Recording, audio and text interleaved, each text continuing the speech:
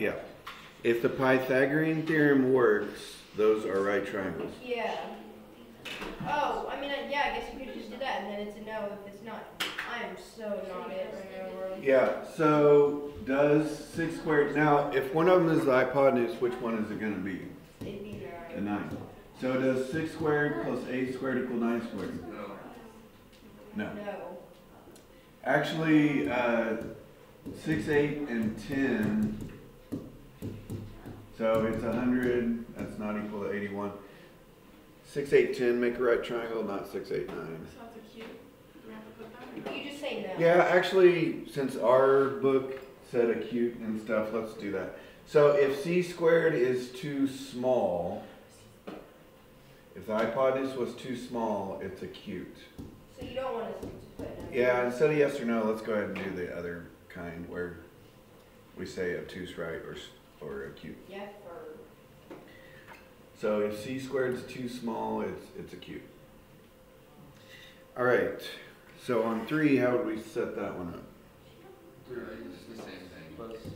Six squared plus eight, squ- oh, I kinda accidentally set that one. Does six squared plus eight squared equal ten squared? Well, these are actually the same numbers over here.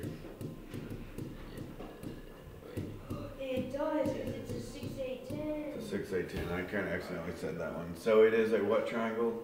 Uh, it is Right. a- It's a right Can you triangle. just put yes? Pythagorean theorem only works Yeah, on right triangles. directions is the same.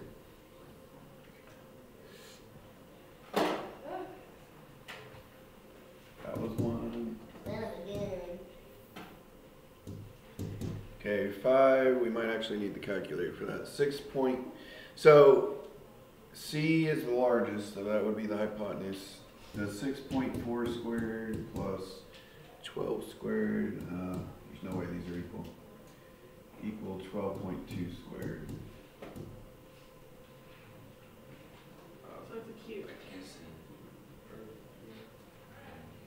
It? What did the two sides come out as? Um, 184.96. 184?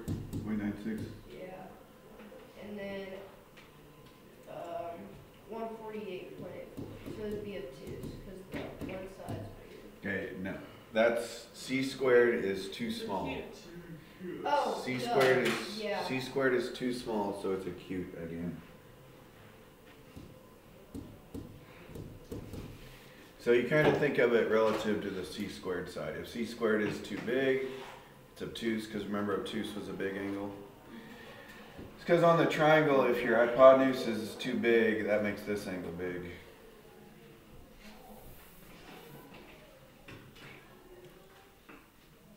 What is going on? Okay, number seven is just. Oh, shoot. I thought they were gonna change it up a little bit, but they didn't. These are all, they're all just, mi- they're all just missing the hypotenuse. Oh, well, that's all right. Oh, no. Well, when we go to the test and it's changes, are you gonna get it wrong? I will get it No. right, I promise. Yeah, we'll review it on Monday. Okay. So it's just four squared plus eight squared equals x squared.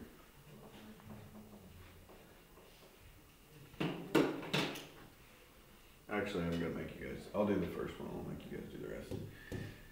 So sixteen plus sixty-four is eighty. So what do I do at this point?